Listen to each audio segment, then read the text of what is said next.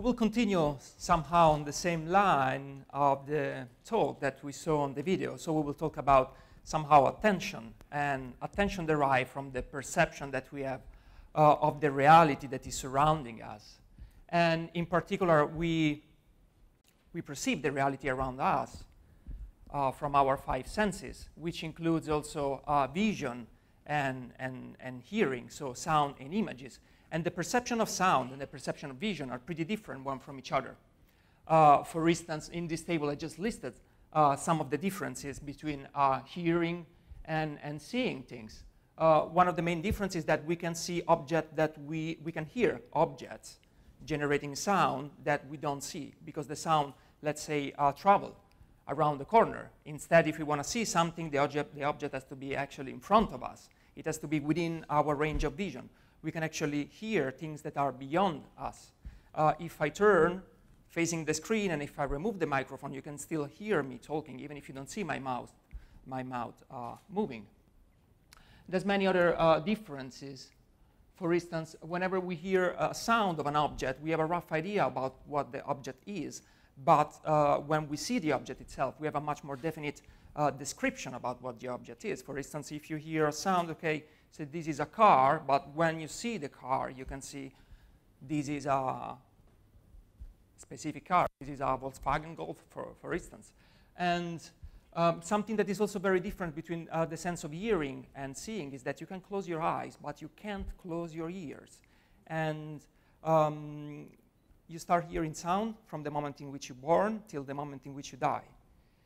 And usually sound and the sense of hearing, uh, it allows stacking of sound. You can actually hear multiple things at the same time. Uh, while for vision, this is not possible because once your vision is obstructed, you cannot see what's behind.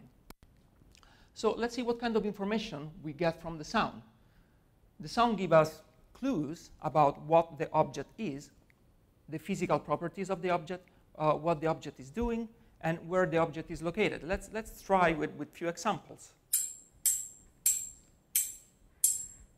Even if I don't see anything right now, I can somehow tell that this is an object hitting another object, and it's likely to be a metal object hitting another metal object.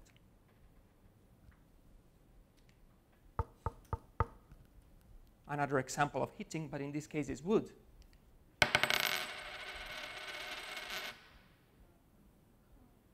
Yeah, that's a coin falling on a table. Probably is a metal coin falling on a wooden table, I can't really tell you whether it's a one dirham or one US dollar, but actually it's a coin.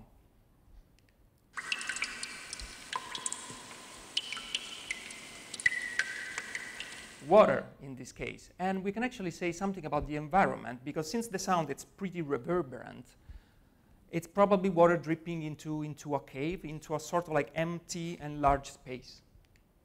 So there's a lot of information that we can derive from, from audio. But let's see what we can hear, where we can hear it, and when.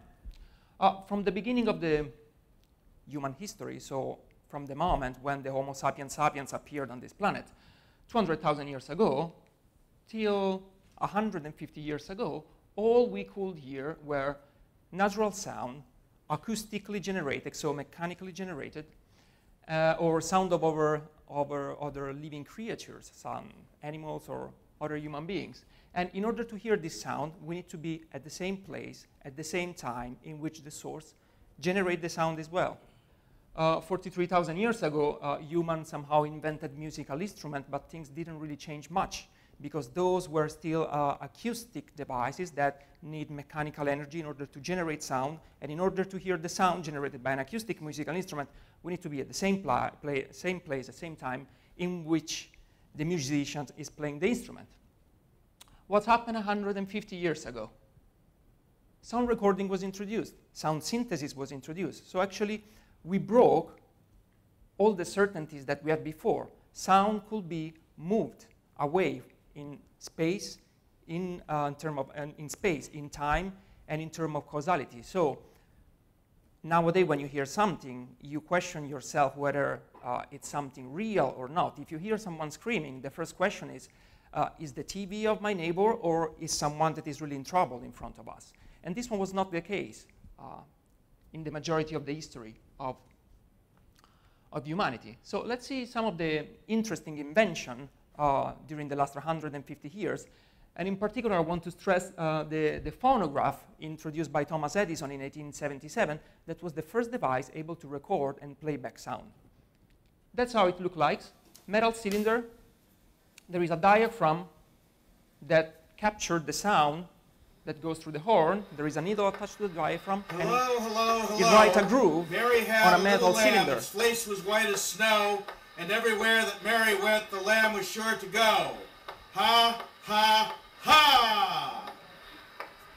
And that's it. It's a purely mechanical device, but was the first device that allowed to record and play back sound. Many people at that time did, did not believe it, say, this is a trick, this is a joke, uh, this is a hoax. It's not possible to record and play back sound.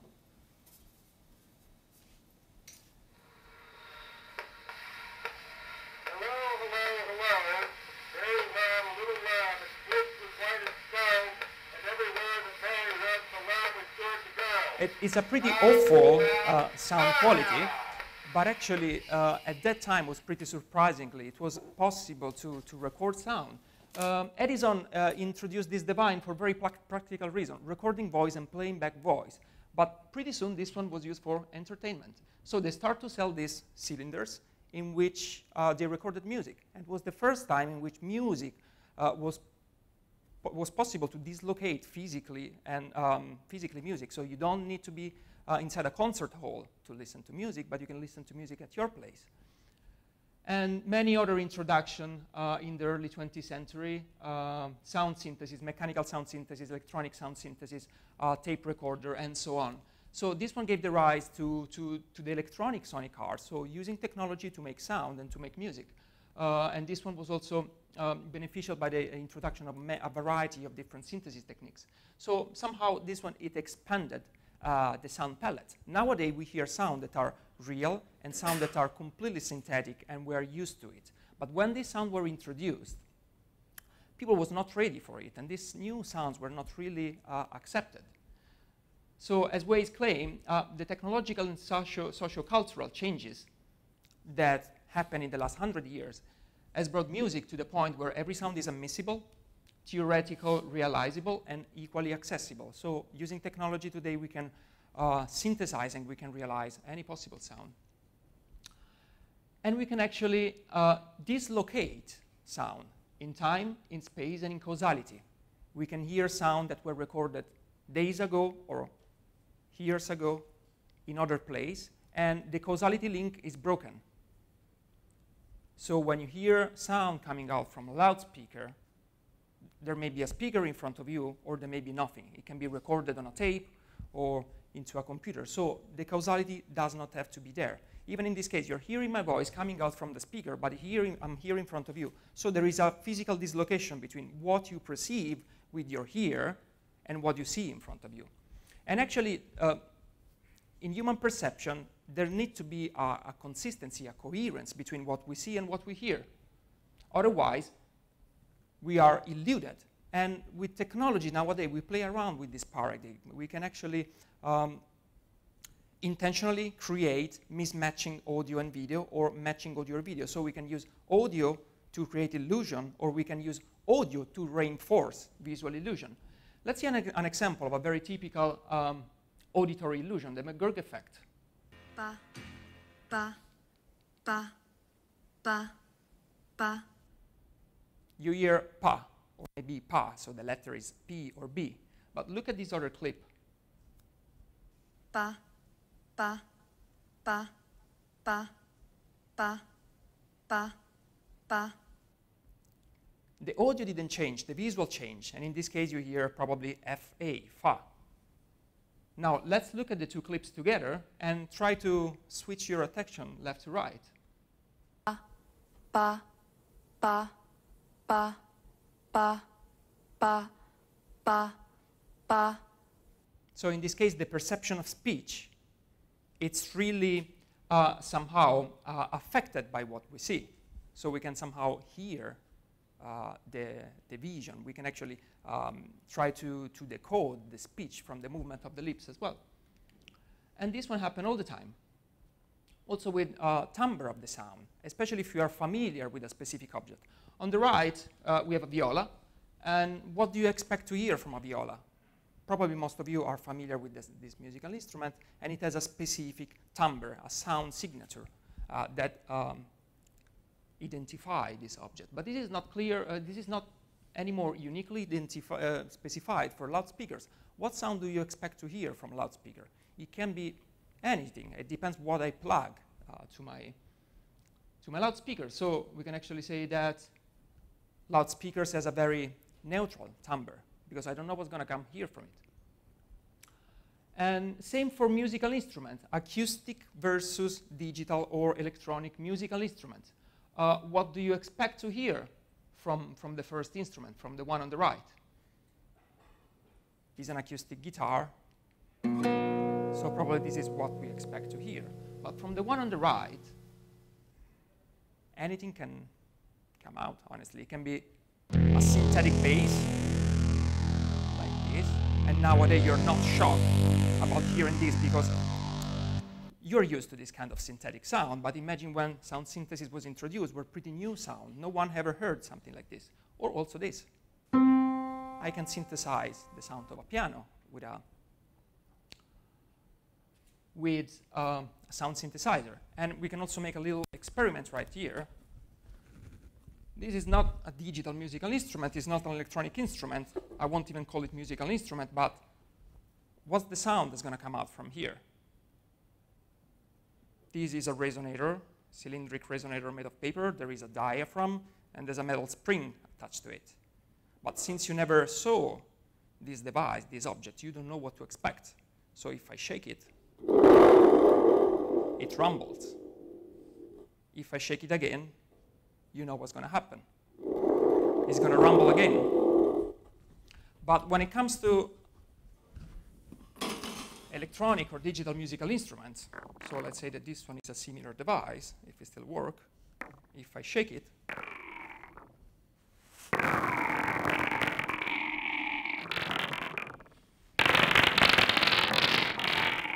some sound is going to come out, but I can change the mapping. Sound that comes out now is completely different. So, be quiet. Okay, the point is that we play around with this, breaking the causality link between an action and the sonic reaction uh, with electronic musical instrument or digital musical instrument, because one of their main characteristics is that the musical interface and the sound generating parts are physically separated, they're completely independent, and can be designed uh, arbitrarily. So nowadays there are a lot of exotic musical interfaces that are features in many, uh, let's say, um, electronic music context in which part of the show, part of the uh, entertainment is also to try to realize what is the causality link between what you see, what is the performer doing, what is the performer, the performer doing, and what's the sound that is coming out from the speakers. Let's see a few examples of these uh, exotic or novel interfaces. Probably the most famous is the theremin from Lev Theremin, Leon Theremin, introduced in the 20s even if you don't really understand what is the technology behind there, after a while, you realize what is the causal link between what you hear and what you see. The hands.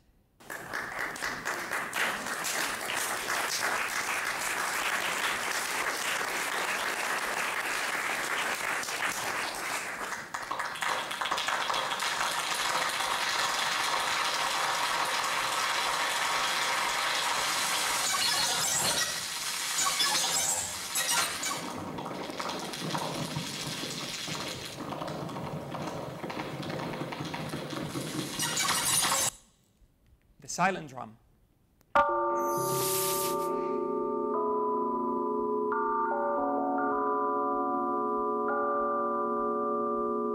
This is something that physically is not possible, but after a while your brain gets used to it and you establish a causal link between this somehow illusion and voice control.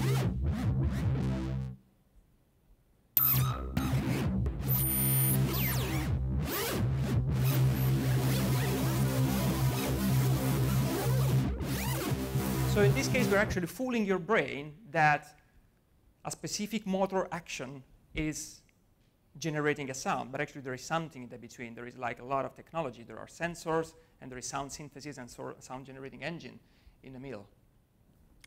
And, or we can use also sound processing to, to generate somehow illusion of space.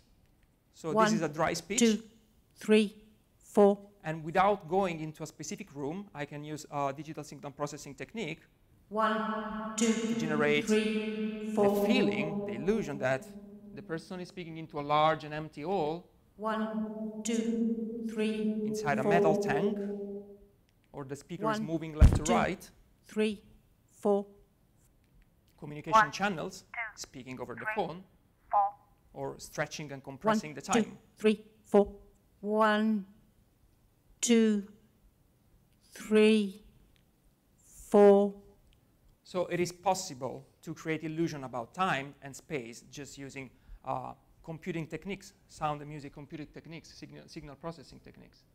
And sound is also used to, to reinforce the feeling of reality in specific contexts. So uh, for virtual reality, you can see from these experiments that uh, creating sound consistent with the virtual reality uh, increase the level of fidelity of a specific environment. So generating sound related to the step consistent with the environment in which the user is walking. Sensor connected to the shoes and generating sound consistent with the environment. Forest, snow,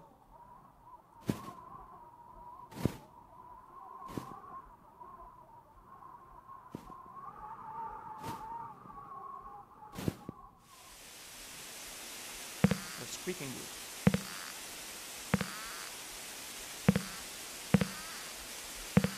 And sound can also be used to, to enhance or to uh, slightly modify the perception, the perception of taste. Uh, work from Charles Spence about digital flavoring. So using uh, sound to make food sweeter or more uh, bitter or making a chip crisper uh, just by using sound. So fooling your brain using sound.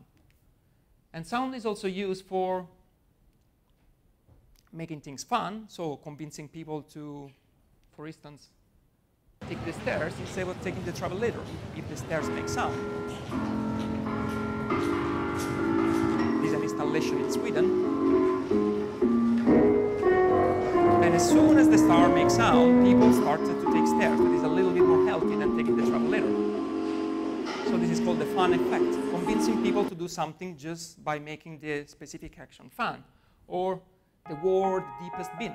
They managed to collect double the rubbish they collect in a single day just by installing a very simple sonic interactive system that give you the feeling that when you throw something in the bin, the depth of the bin is very, is very high.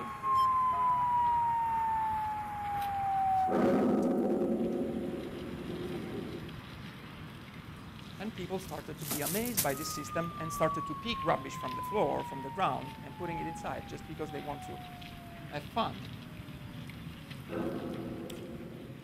And yeah, and that's it. And this one actually, I think the fun effect, it also applies to this context, to this field in which I'm doing research. I think doing research with sound and music computing uh, and sound generically, it, it's somehow uh, fun.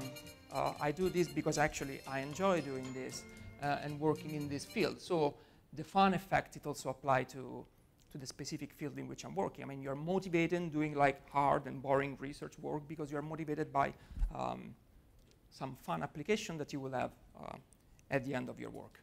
And that's it. Thanks for your attention.